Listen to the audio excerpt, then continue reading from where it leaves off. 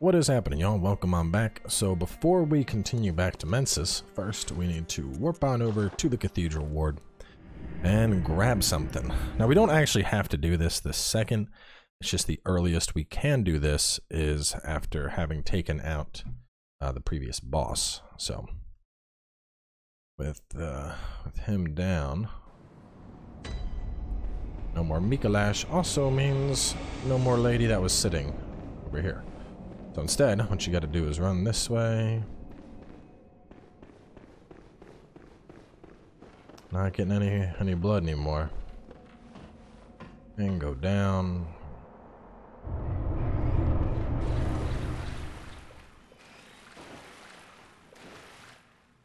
It can't be. This is a nightmare. She gave birth to that.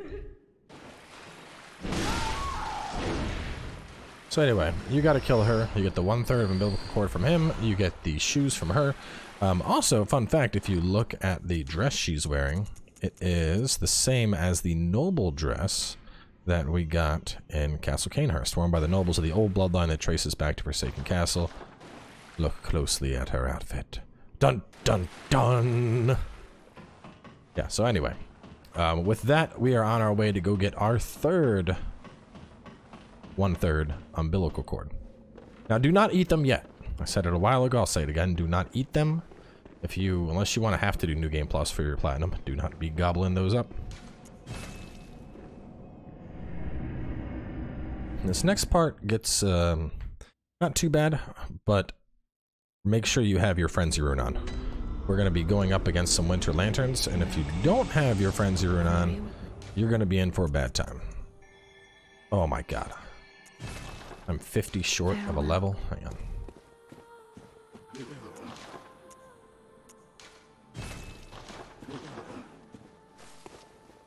Well, what? Very well. then. Alright, it's looking good.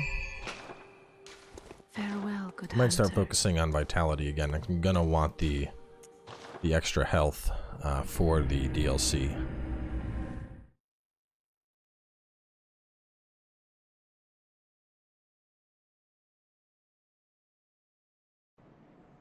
We're also coming up on one of the best farming routes in the entire game. Uh, so anyway, up here, first thing we're doing is kill some abominations in the corner. And pick up them chunks.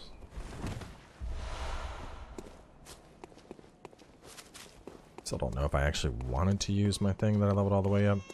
I know there's a bunch of enemies this way. Ignore them for now. This is also a shortcut to the boss. Ignore that for now. Instead, we want to get on this, and this will go all the way down at the very bottom. Uh, but instead, we want to get off. So you can see this window right here. Oh god, no! No! Are you shitting me, game? Oh my god. I swear I had that lined up. So anyway, it, it connects. That's the platform that's right before Mikolash. Um, it connects to it. That is not what I, I wanted to happen. We were supposed to be able to get off. I don't know what is going on. Ever since uh it, you know what you know what the real problem is? Ever since I went out of order, I was following my my guide that I wrote, and ever since I was like, you know what? We're gonna do Ebby now, and then we're gonna go do Castle Cainhurst later. Ever since I went out of order, I've just been having fuckery like that. That time I made it off. Anyway, uh, run on over here and pop this. Make sure you have sedatives ready to go.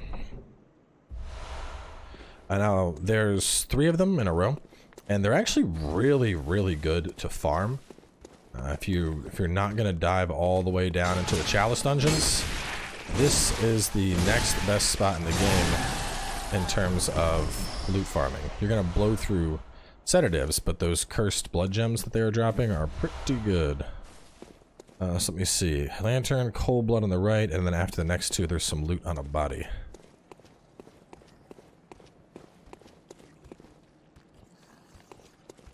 I was hoping they would be a little bit more split up. Let me try and lure one over.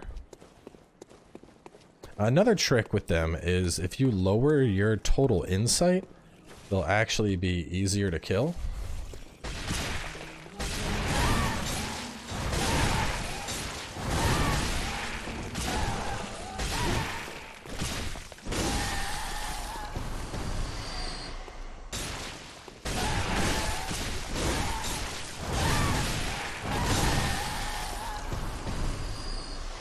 But even without lower lower insight, uh, there's the tempering on the body. The bullets were what we wanted. There's another curse gem. Uh, even without lowering the insight, as long as we have that that frenzy resist gem, you'll be fine fighting them. You're still gonna need to, to have um, what's called sedatives. Uh, but if you're farming them, you would ideally swap up to the Ashen set. As you can see, 60 Frenzy Res versus 17 Frenzy Res. Uh, so that set's going to help out a ton. Which actually, just to show it, because we have another one coming up, I will put on the Ashen Hunter stuff. Uh, for the helmet, you would want to go for this guy. This is your, your max frenzy. You look goofy as hell, but... Anyway, kill these spiders.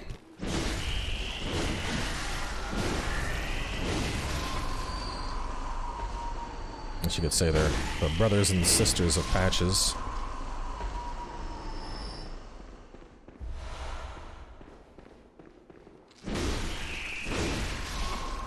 I assume brothers and sisters, unless they're all just brothers, but, you know, usually when they're all clones like that, there's probably a few females in the mix.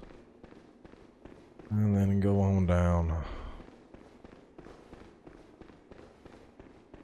Ignore the hole for now. On over here. You see that big brain thing over there?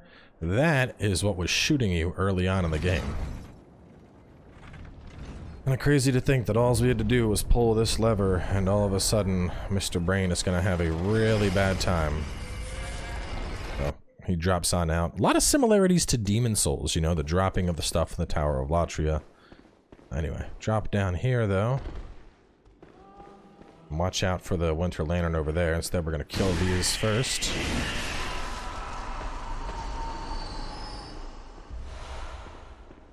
Alrighty, and then I believe there's something... Ow, stop that. Check my notes here, just to make sure. Um, let's see. Kill the spiders, hit the lever, but head to drop the big eye, drop on the floor, kill two spiders first, then crawl some Winter Lantern, get the chest. Head outside for some loot. Camera jolted a little bit there.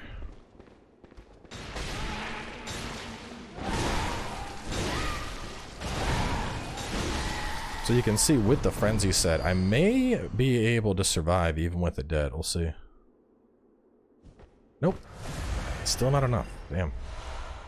Yeah, that's why frenzy's not fun though. Look how much damage that did. It's insane. Uh, but open, once so you pop this open though, you should get an achievement for the final art, the choir bell. Another decent utility one, mainly used for co-op. Uh, pretty decent. What it does is when you when you pop it, uh, it does it costs seven bullets, but it's basically like a big old, big old heal, boosting up everybody. So pretty nice stuff. Pretty nice indeed. Um, and then from here, we typically warp, I believe. Let me see. Head outside for some loot, shit ton of wisdom, two arcane gems. Get all that before dropping. No, we head out. We head out that way. Um, let me let me cross right here.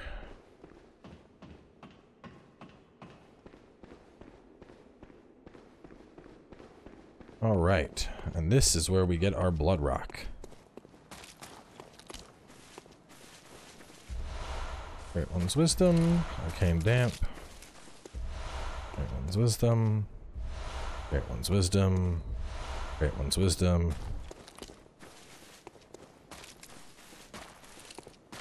Um, bum bum bum. Madman's knowledge. I want to say there's another arcane damp. Damp blood tinge. And then this is a useless shortcut. Um, this will connect us back through to Mikolash area. Just to kind of show where this is at. Walk in here. See, this is uh, is where all the Mikolash stuff went down. It's a really odd shortcut, you know? Um, but anyway. More importantly, heal on up. And I can actually go back to my... And the blindfold cap actually doesn't look half bad. What are we looking at stat-wise? You are... Hmm, weaker arcane and fire resist. Better bolt. Better beasthood. Yeah, let's just do it. We're Nightman. That's fine. Um, so yeah, take a quick loop, make sure you got it all. And then come on over here and just drop down.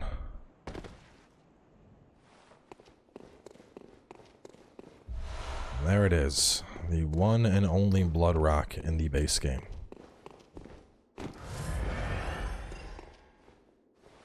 Back in the day, man. We're back when Bloodborne first came out. It was obnoxious because that was it. You got just that Blood Rock, and the only way to get more was to dive deep, deep, deep into the Chalice dungeons. Um, we're putting on, I want a lantern on for this next part. Not a lantern, but torch. Um, and we're just gonna run all the way back over to where we were fighting the big mamas. We're gonna run past them. We're running for that elevator that's over there now.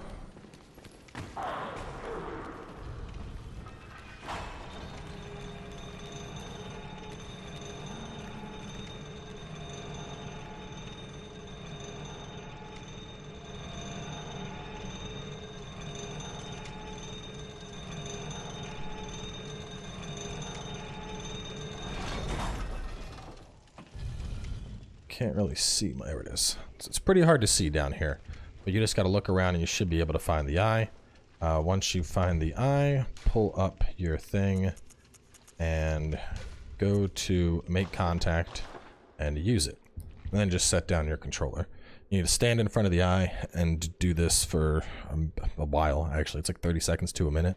And then you're going to get a rare material that you would need for Chalice Dungeons, which technically we don't need, but covering that it's here. Uh, and then after that, we're going to kill the eye to get a rune. Hanging out.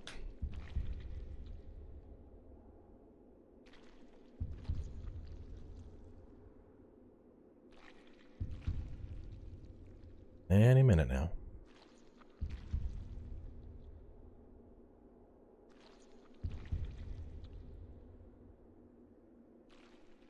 Still waiting.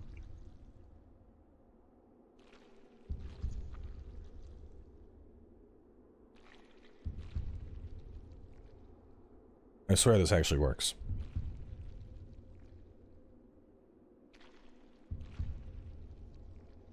There we go. I got finally turned. There's the moon rune. And now that we got the moon rune, we can kill this thing.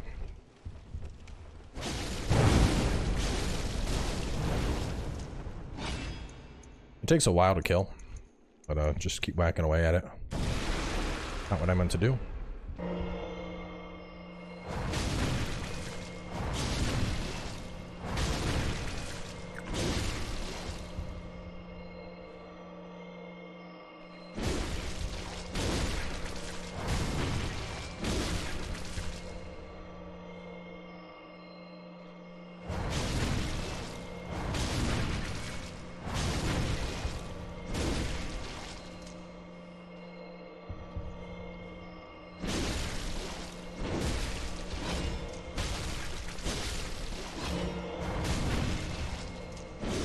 Almost no transform attacks this entire playthrough.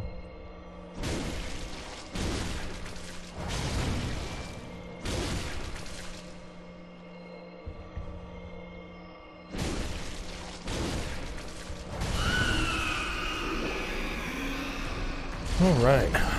And we got the living string. Um, so now that we're done, I would highly recommend you just use a Bold Hunter's Mark and warp out of here. Otherwise, you're going to that, going up, taking an elevator, shooting across. It's a whole bunch of bullshit you don't want to do.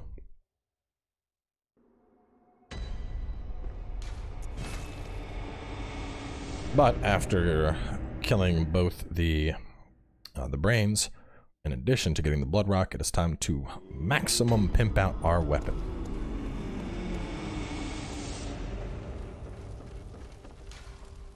whether you're using the Hudley blade or something else, you will have it up at plus 10 now. I'm gonna get rid of a couple things first here too. I have a lot of... I don't, I don't, I just, I, I very much dislike having stuff that I'm not using. I'm like, oh, you're taking up space, can't have you. Now, let's see what we got. Physical 18 stays. There should be like two... There's the physical 18. No, wait, that one goes into the other slot. Hang on. I swear to God, I missed a physical 18 somewhere, I feel like. Physical 19 attack beasts down. Tempered damp. Radiant. That goes there.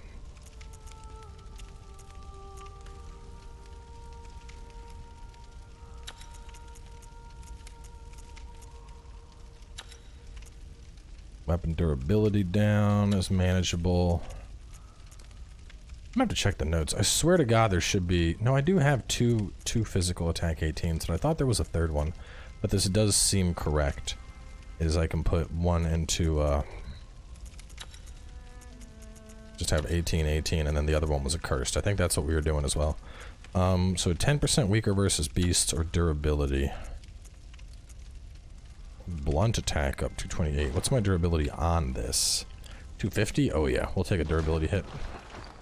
Even with that durability hit, this thing will be plenty. Mm-hmm.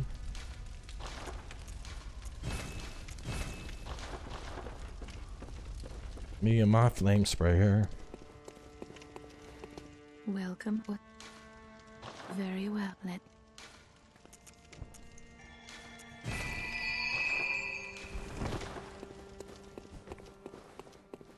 And back to the middle.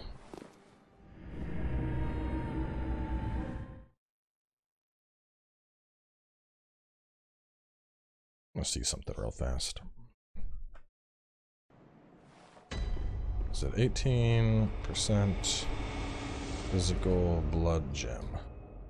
Was it those two? Let me see. Do, do, do. Tier 3. Down in the dungeon by the werewolf boss. Tier 5 is in Yahar'gul. We got that.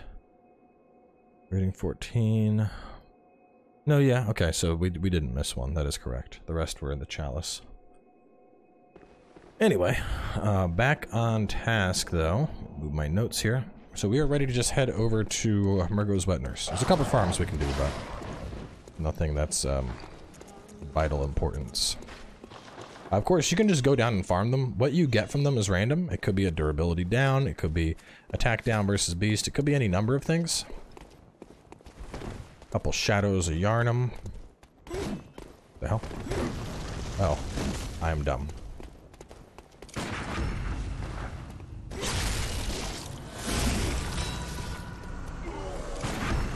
Oh, this is making up for my shitty parries against the Garius. Amazing what like a nice recording break will do for you.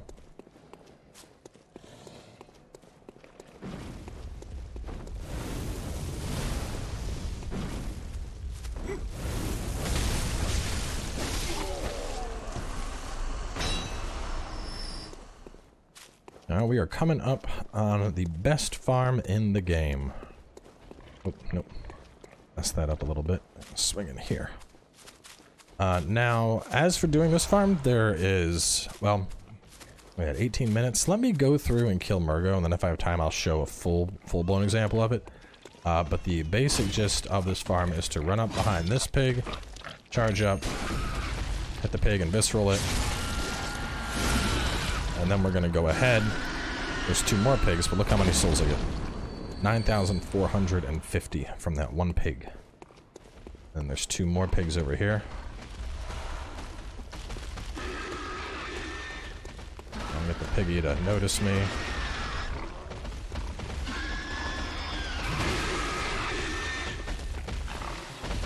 Oh god, no, wrong thing. I wanted to auger. Oh god, no, it's all going to shit. Let me out, pigs. Let me out.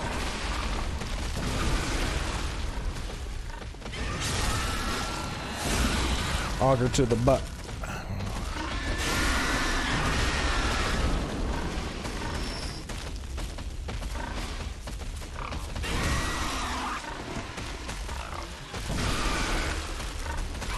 This is the, the best farm, is killing these three pigs. Uh, now, there's a couple different things you can do with the pigs, though. What you can actually do is if you don't want to just fight the pigs outright, it, it takes a little bit more time, but you can go on over this way. And you can see there's a whole gaggle of, uh, of these dudes. And they will have a mortal combat with the pigs. So you can have the pigs fight against these guys, and then you just, you know, lap up all of the things that come from the pigs. Come from the battles. Um, usually it's about 50-50. You'd think the that these guys would do a lot of damage, but they're very squishy, so the pigs tend to, to tear them up quite well, actually. And so, I mean, we're killing them in three hits, you know. Not very strong. Uh, but there are two routes here as well. So even though we came all the way up, there is a lower route, which if you are playing the game uh, online for your first time, you should go this way first because right on over here, there's typically a Bell Maiden. The kind of Bell Maiden that you need to... Whoa! Oh my god! He killed me! Holy shit. Well, now I get to show you the lower path with the farm.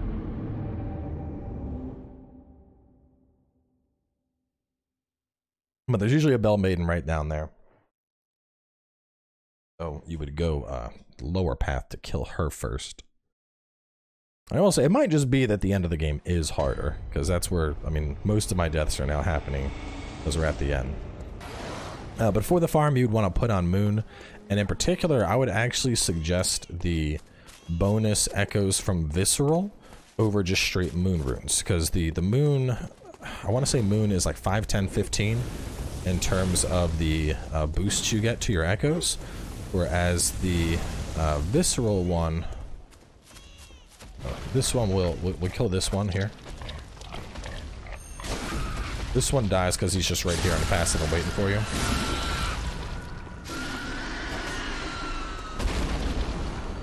And then after you do him, you would drop down over here. Uh, now this will lead right over here, so that's like where we picked up that loot where I accidentally ran down. But you can take this around as well, and it'll bring us back to where we were.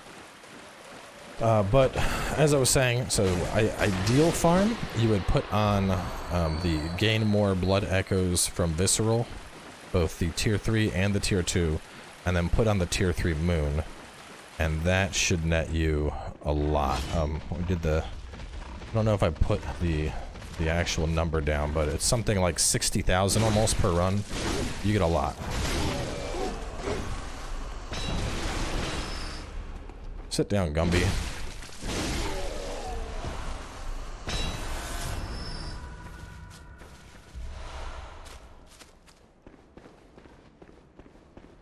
And if you do start off with the lower path, you can then come here, hit them just to get their attention.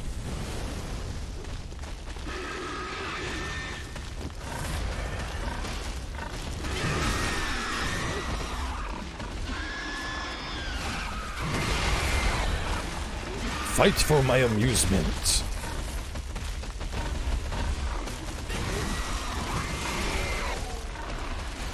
Yo, did they really abandon their friend? Yo, yo, yo, yo, guys. Hey, these pigs are your problem, not mine. Yes. Do battle for me.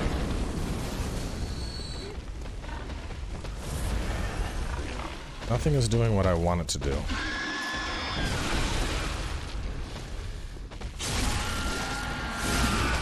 We'll just kill him.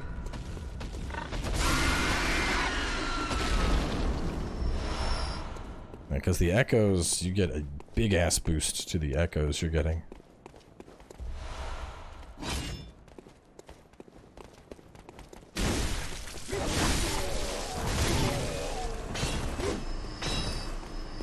Big donk. Oh, my big donk missed.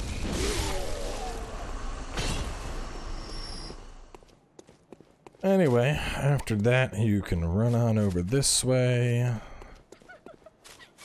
This is the Pthumerian Queen. Kill her if you want, or leave her alive. Doesn't matter. she's sad because of, um, well, I guess we come to the end of the game, uh, but to, to basically explain the lore and, and my understanding of the lore is that the, oh yeah, that's right, the Esophagus blood.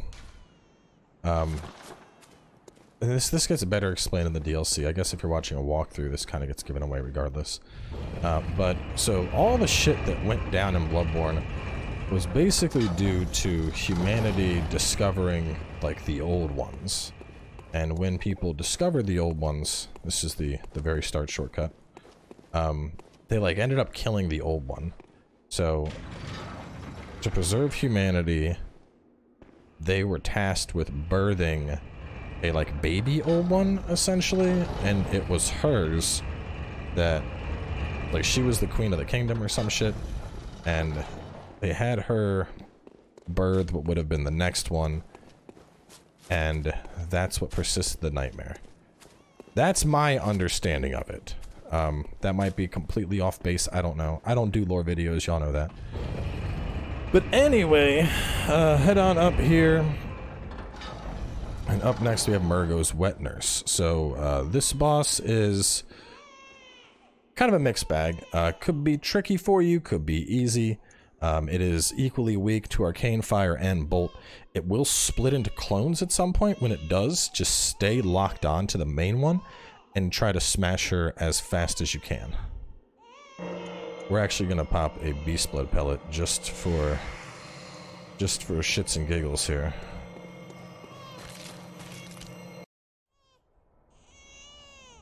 Pretty cool cutscene too. We'll let this one play. Like a weird nightmarish thing that's here to protect the baby.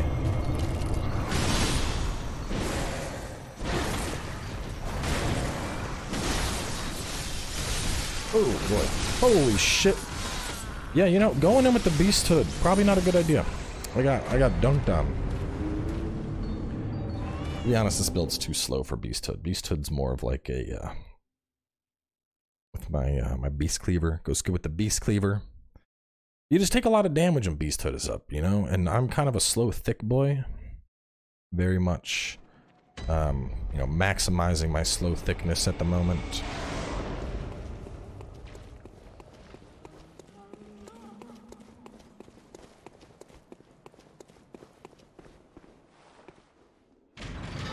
I'll just fight her properly. I think we should be fine. It is interesting to see how um, some of the bosses I'm struggling with a lot more than I would have thought I would.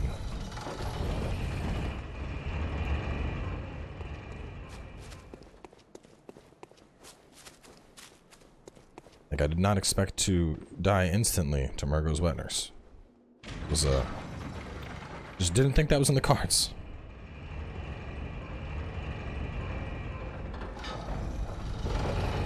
And before I die like six times. Honestly, if I don't kill it here, though, I'm probably just gonna, um, I'll just chop the footage and edit it, because I don't want these videos to be like 35, 40 minutes. So after that attempt, I ended up actually getting my ass stomped, um, and I wanted to show like a proper strategy here. So as opposed to what happened back with Logarius, I decided to just take a couple attempts until I had one that was was clean and kind of showed all the mechanics. Uh, so on that note, I also grabbed my stuff and warped out and then spent it. This way I don't have 100,000 echoes on the line, so we're now at 2535. Uh, so Beast Blood does work well here. Going for any buff does work well here, whether it's going to be Empty Phantasm, Lightning, Fire, whatever. Um, probably one of the biggest things is we want to dodge to the left, and we want to ideally stay behind it. So instead of going Unga Bunga, we are just going with the one-handed version. This can actually work with the uh, with the Beast Pellet since I'm not as slow as I would be otherwise. That's the most dangerous attack. As long as we can avoid that attack, we're usually pretty good.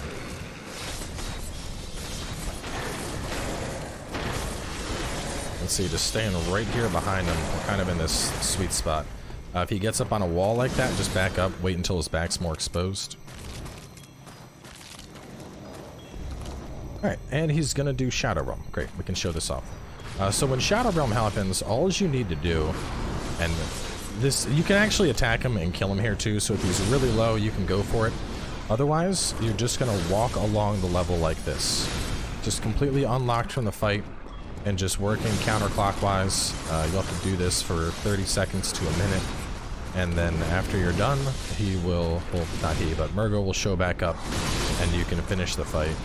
Um, just kind of one-on-one -on -one like you were before. So I'm just going to do this for a little bit. I don't know why this works. I think it's just the, the spawn points of them. They never spawn in at a point that can hit you. As you can see, we're not we're not really dodging or anything. We're we're speeding up a little bit just so I don't get stuck on anybody, but otherwise we're just kind of cruising along.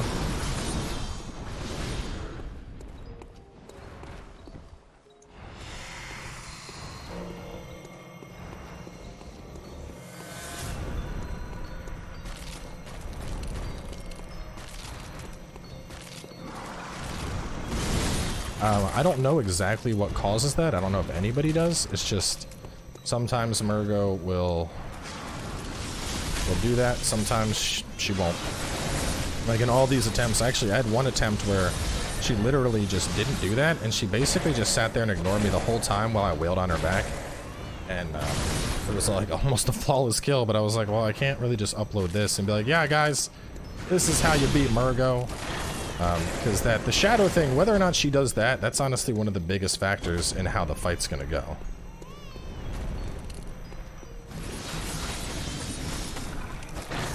Otherwise, just stay behind her.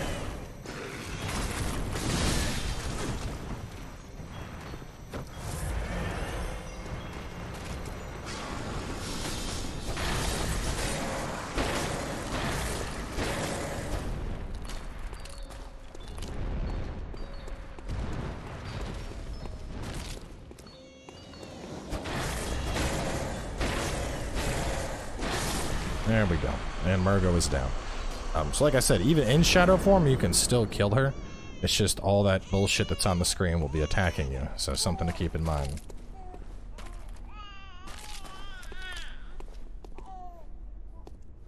The baby sounds creep the shit out of me. Just takes a second. The fight's dead though. Fight's over. I don't know why. It's just, it's just always, it takes uncomfortably long for it to end. Are you like, is it, is it over? Is it actually over? Did we win? Is this done? Uh, but so after that, with the Mergo down, we can now actually get quite a few of the endings. So warp on out. Um, I'm actually like almost out of items, so I'm probably going to buy a bunch of healing and a bunch of bullets with all those echoes I got.